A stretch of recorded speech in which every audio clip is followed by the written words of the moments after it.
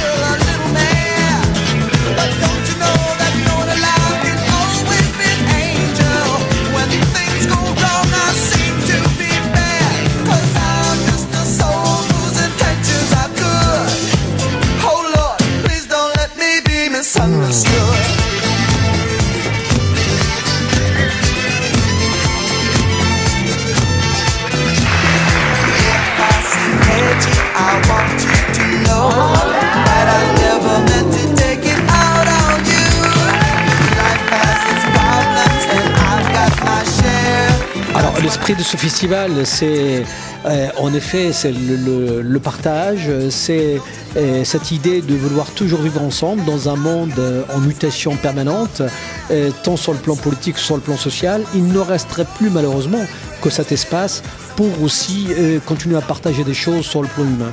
Et le festival propose cette ouverture donc sur l'autre, sur les autres, dans un dialogue permanent.